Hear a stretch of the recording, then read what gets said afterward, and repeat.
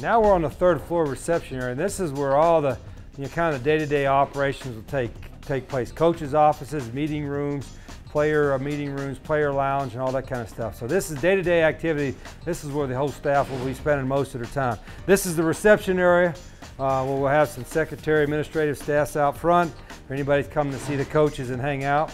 And then we'll follow me. We'll go through uh, my new office, which I haven't seen here in a, in a, in a couple months. Guys are working hard in here. So as you see, they're putting up some drywall. I'm gonna have a nice little corner office that I can see the, see the foothill mountains. I can see anybody that's uh, coming down the street. Uh, that glass, from what I understand, is bulletproof and rock proof in case we have a bad day. You know, nobody will be able to hit, hit me. And I may put my desk in the corner anyway, but this, this is gonna be a nice setup uh, for me as well. And then this room here, I'm really excited about. I call the closing room. So when we have a recruit and their family in and and they've had a great visit. They've seen everything about the U of A, everything that our university and our athletic department has to offer.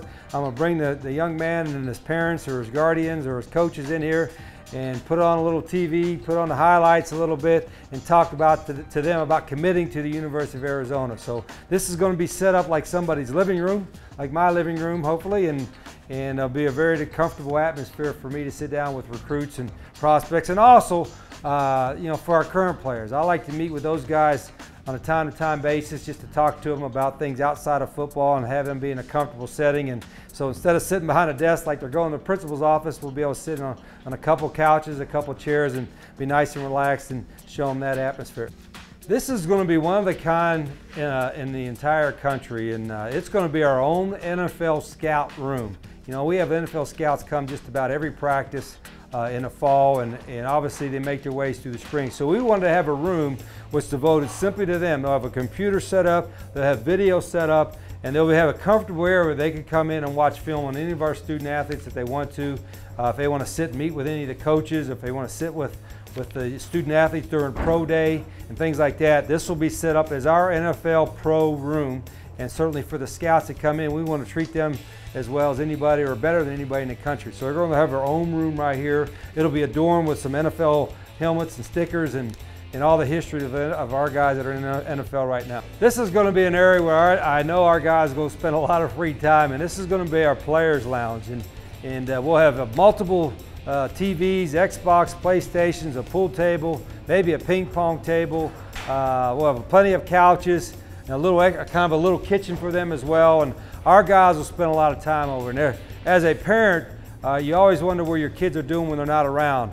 You know, one reason we wanted to have a great players lounge is because if we know our players are here, they're going to be doing the right things, and I don't have to worry about them and all that. So I'm really excited about that. I think our players will love it here. They'll kind of be a home away from home and it'll be a, a, a, chance for them to relax. You know, they, if they want to think football, they can think football. But if they want to get away from it and watch TV or shoot pool or something like that, this will be their area. You know, the coaches may come in to say hello, but other than that, I want our players to be able to enjoy themselves and, and have, a, have a great refined area for them to, to lounge around in.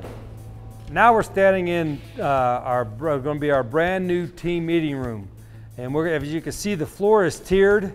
We'll have 125 seats for our guys, so they'll all be able to have a comfortable, really nice seat, cushion seats to be able to look at the front.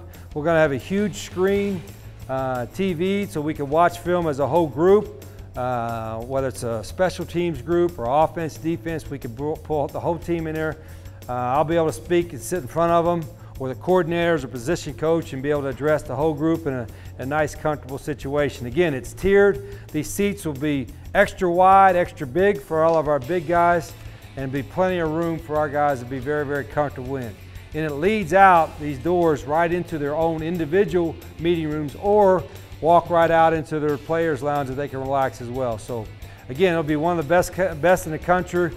We're gonna have a lot of graphics, a lot of neat pictures both on the side of the walls and both in front for them to look at as well.